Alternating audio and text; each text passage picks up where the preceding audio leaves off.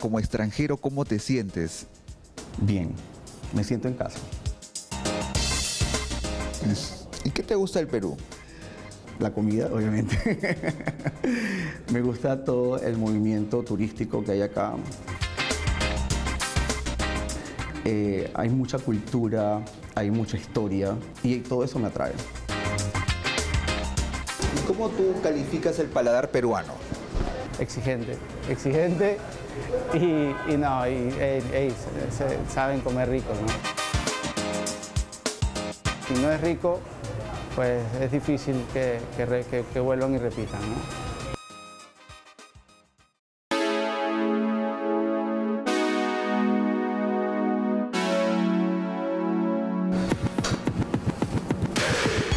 Hola chicos, ¿cómo están? ¿Cómo, ¿Cómo estás? ¿Todo bien?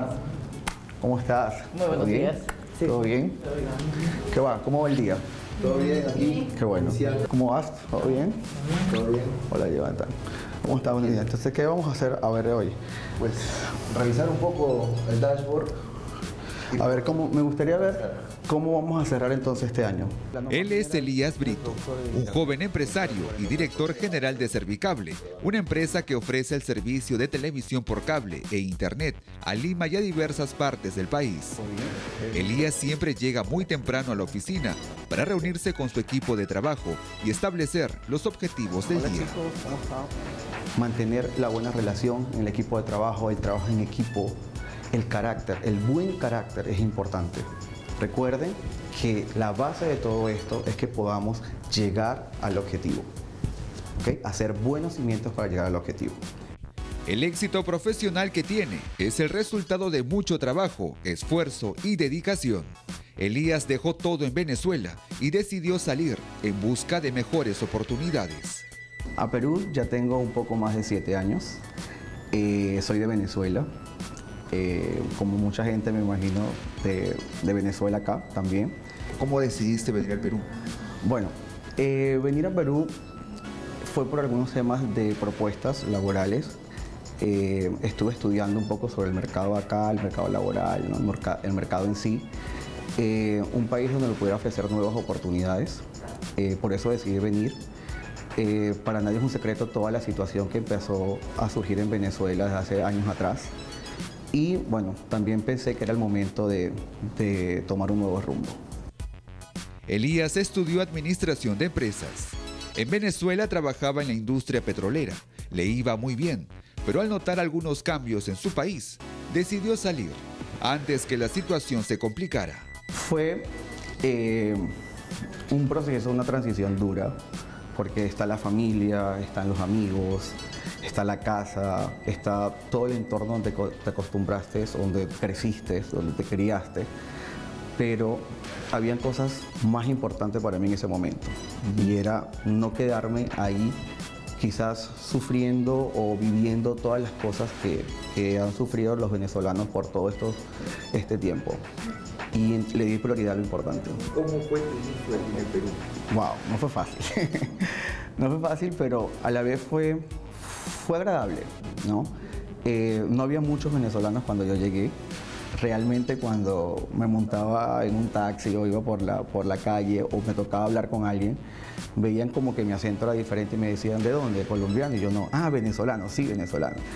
Y fue agradable porque todo el mundo me hablaba de grupos de música que eran, son muy famosos acá en Perú, eh, novelas, mises, me preguntaban un montón de cosas. Entonces es como que veía como que Venezuela tenía mucha, alguna influencia acá en Perú, ¿no? Siempre había como una sonrisa, como que aquí te va bien, como que acá es tu lugar, o sea, mm, gracias a Dios Quizás a mucha gente sí le ha pasado, pero en ningún momento he recibido ningún rechazo ni alguna conducta eh, xenofóbica de algún, de algún peruano. Al llegar al Perú, empezó a trabajar en una empresa en el área de recursos humanos y desde hace cuatro años es el director general de una empresa de telecomunicaciones.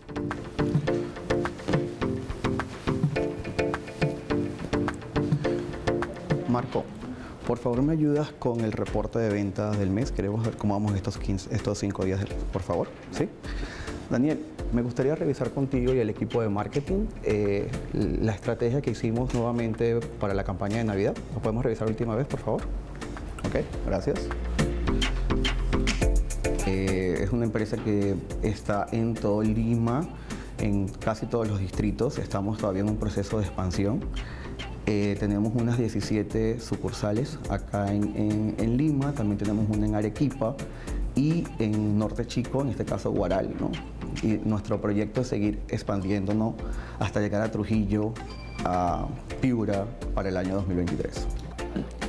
Elías tiene a su cargo a personas de diversas nacionalidades. Sí, por acá tenemos gente de Perú, gente de Venezuela en estos dos sitios. Todos se han logrado complementar. Sí, mira que hay mucho engranaje, hay mucha empatía, mucho trabajo en equipo. Creo que es parte de lo que también enseñamos acá para trabajar de manera saludable. Él nos cuenta que la clave del éxito es el respeto y el trabajo en equipo. Por eso es muy importante conocer a cada una de las personas que trabajan en la empresa. Viani es el, área de recursos humanos, gestión humana. Eh, Maricielo trabaja para marketing como community manager. Eh, Marjorie trabaja en control interno, revisando todo el tema de documentación y todo eso. Eh, aquí mi amiga Didi, su nombre es bien complicado, entonces cariñosamente le decimos Didi, trabaja para finanzas. Daniel también trabaja para marketing en el área de artes gráficas, Maricielo como estratega de ventas, Marco en todo lo que es sistema y Jessica en temas de atención al cliente. Elías siempre está atento a lo que sucede con su personal, pues señala que la comunicación debe ser horizontal, escuchar a todos. Vamos a llamar a Maricielo, ¿te parece? Para que pueda venir. Maricielo, ¿puedes venir a la oficina un momento, por favor, para ver un tema con Marco? ¿Ok? Hola, ¿cómo estás? ¿Cómo vas? Maricela, estamos viendo todo el tema de las ventas, pero queríamos ver cómo va el reporte a nivel de redes sociales, cómo ha estado con la nueva campaña que lanzamos a nivel virtual. Como extranjero, ¿cómo te sientes? Bien, me siento en casa.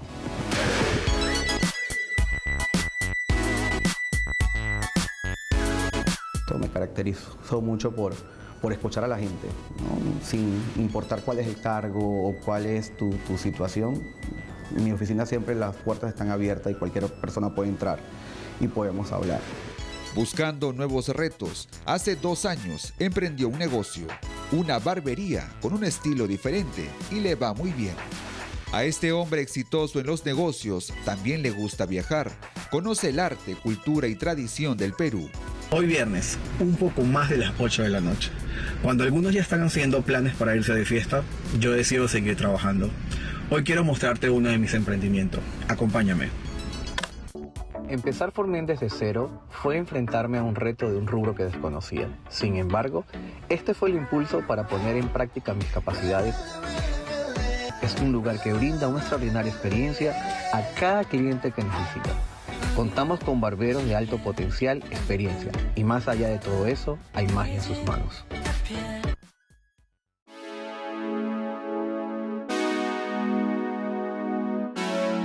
Obviamente ya fui a Cusco, una de las primeras zonas, pero también conozco Tacna, conozco Huaraz, es Ancash, eh, la selva central, Ayacucho, Sanchamayo, Zapampa. Eh, también conozco lo que es eh, Tarapoto y, Quitos. Eh, cuando yo llegué aquí, yo me enfoqué mucho en conocer un poco sobre lo que es la legislación, ¿no? sobre conocer las leyes, las leyes laborales, las leyes mercantiles. De hecho, hice un diplomado cuando llegué para, para empaparme un poco más. ¿no? Por mucha experiencia que tú traigas de trabajar en otras empresas, eh, por muy buen cargo que tengas, o sea, llegar a un país nuevo tienes que conocer qué está sucediendo acá.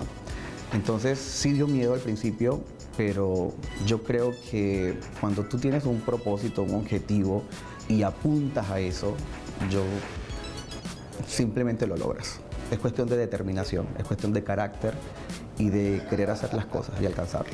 Solamente quiero eh, decirle a, a esa gente, a estas personas, que le ha tocado vivir lo que yo viví, de empezar de cero en un país, es que se puede hacer, se puede lograr.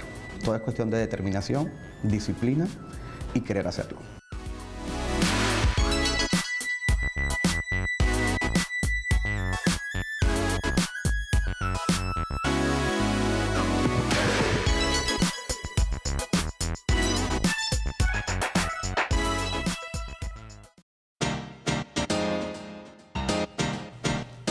Ahora conozca la historia de Juan Luis Martínez, un joven venezolano que llegó al Perú en el año 2014, fascinado por los sabores de los productos de la costa, sierra y selva que se utilizan en la gastronomía peruana. Y hasta ese entonces yo estudié comunicación social en, Boca Raton, en Florida. Me gradué, pero al final no ejercí, estaba como que seguía en búsqueda de, algo que me llenara. Es así que por recomendación de sus amigos, decidió llevar un curso de cocina y descubrió que el arte culinario era lo suyo. Luego de ello, empezó a estudiar en escuelas de Venezuela y a trabajar explorando sabores hasta que decidió buscar nuevas oportunidades. Salí de Venezuela en el 2011 en busca de más aprendizaje ¿no? y, en, Europa. A, fui a Francia, después fui a España y, después como que no me hallaba mucho eh, viviendo ya en Europa y, como que extrañaba un poco mis raíces y la situación de Venezuela no, no era la mejor en ese momento. Trabajando en Europa, en el 2014 asiste a un evento gastronómico, Madrid Fusión, donde conoce la gran variedad de productos peruanos. Veo todos estos productos que, que nunca había visto, veo que hay una cocina del lado de, ¿no? de, de, mi, de, mi, lado del mundo, ¿no? que es Latinoamérica, y es donde caigo en realidad de que, oye, de, mi lado también suceden cosas, ¿no? de que no todo es Europa y no todo es Estados Unidos y, o, Asia, ¿no? o sea, en verdad estamos haciendo cosas súper importantes y, que, y, que, merecen la pena este, ¿no? también aprender de ellas. Llega al Perú en el 2014 para trabajar en un conocido restaurante. Estuvo por un periodo de dos años tiempo en el que además de conocer la gastronomía peruana, se puso a investigar lo que produce el país. Luego hizo una pausa de un año para pensar qué camino seguir y en el 2018 puso su propio restaurante, Mérito, ubicado en el distrito de Barranco. Mira, todo, cuando, vi, cuando vi ¿no? que vi oyucos de todos colores, cuando vi papas de todos colores, cuando vi una machua que, nunca había visto en mi vida, eh, vi el cuchuro, que aquí el, producto sabe, ¿no? Tiene, está cargado de, mucho sabor y, eso es difícil de conseguir en otras partes del mundo, verdad. Este, el limón, cómo sabe acá, la cebolla, cómo sabe. Mérito es un restaurante que combina los sabores de Perú y Venezuela. Tiene chefs de diversas partes del mundo que hacen de este lugar un espacio para compartir. Bueno, tenemos una guasacaca que es una salsa típica de Venezuela y, la colocamos con una panceta que hacemos con un tomate de árbol o sacha tomate, que lo glaseamos con, esta reducción que hacemos y ponemos con unas arepas y después le ponemos una salsa criolla. Entonces todo en sí tiene sentido y ahí es donde hay una fusión de, culturas y, de recetas. Mira, estas son unas tostadas que hacemos con, cereales andinos. Esto lo hacemos con, con uh, quinoa y kiwicha y va acompañado de pesca del día, que en este caso es róbalo.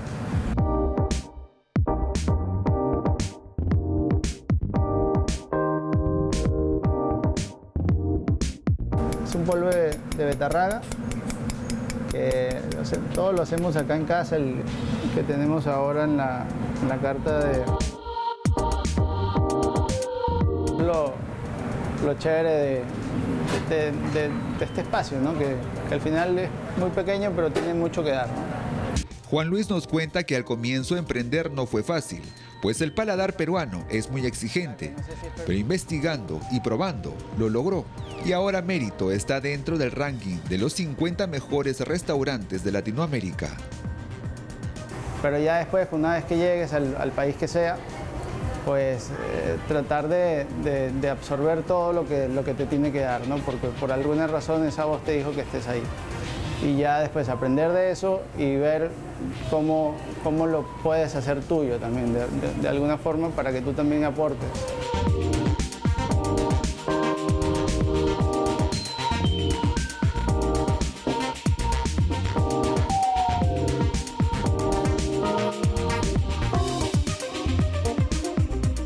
Elías y Juan Luis, dos ciudadanos extranjeros que vieron en el Perú una oportunidad para seguir creciendo y ahora se sienten como en casa.